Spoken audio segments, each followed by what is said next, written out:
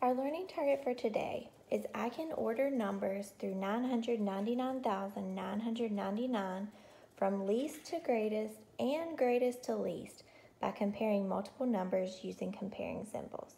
So today we're going to be focusing on putting numbers in order from either least to greatest or greatest to least. So we need to make sure that we pay close attention to the directions and we're going to use our comparison symbols and let's remember what those are greater than, less than, and equal to.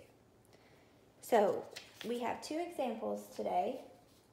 The first example, we're going to order numbers from greatest to least, and the second example, we're going to order numbers from least to greatest. So let's just focus on the first example. The directions here are very important, so make sure that we're putting them in order from greatest to least. So let's read our four numbers. We have 24,075, we have 2,750, we have 204,705, and we have 24,750. So one thing that jumps out to me is I see I only have one number that goes to the hundred thousands place, and that's this one right here. 204,000. I don't have any other number that has a digit in the hundred thousands place. So I know that this is the greatest number. So I'm gonna go ahead and write that one first. And I'm gonna put 204,700 705, and I know that's greater than whatever number comes next. When I'm done with it, let's mark it out so we don't get confused. Now, I see that I have two numbers that reach the 10,000s place. I have 24,075 and I have 24,750. So I'm going to line these two numbers up to see if I can compare them a little easier. So I'm just going to rewrite this one right up underneath. So I have 24,750. So when I'm comparing, I have a 2 and a 2 in the 10,000s place. That doesn't help me. 4 and a 4 in the thousands place. That still doesn't help me. A 0 and a 7. Now, that helps me decide which number is greater. Is a 0 or a 7 greater in the hundred, hundreds place? We know that the 7 is greater. So we know this number is our next largest amount. So we have 204,705. That's greater than 24,750, which is going to be greater than our next number of 24,075. So now I only have one more number left, and that's going to be our smallest value of 2,750. So let's read this number sentence.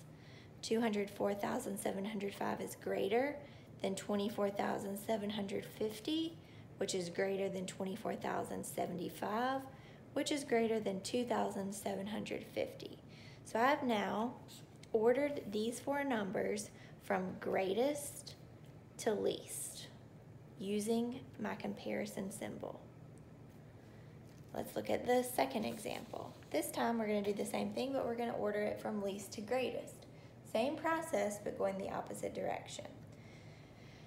When I see here, I have 10,040, 10,400, 10,004, and 14,000. All of these numbers have the same amount of digits, and they all go to the 10,000s place. So like the first example, when they had different number of digits, I can't eliminate anything. So I'm going to look at each place one at a time to see if I can determine which number is the smallest. And remember, we're working from least to greatest this time. So let's start. In the 10,000s place, I have a 1, a 1, a 1, and a 1. That does not help me at all. In the thousands place, I have a zero, a zero, a zero, and a four. Now I'm getting somewhere.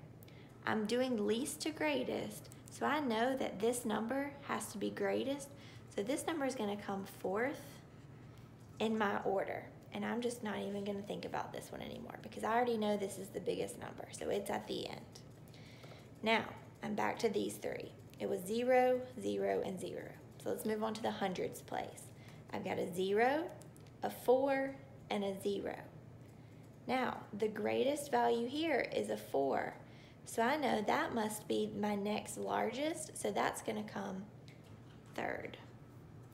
But I still don't know my smallest number yet, and that's the one I have to start with. But I have narrowed it down to these two. So I had a zero and a zero in the hundreds place. That did not help me. Now I have a four and a zero in the tens place. Which one of these would be the smallest? Do you want a four in the tens place with a value of 40 or a zero in the tens place with a value of zero? So we know that this is our smallest number. 10,004. And we know it's gonna be less than our next smallest number of 10,040. We know that's gonna be less than our next smallest number of 10,400. Finally, that's going to be less than our greatest number of 14,000.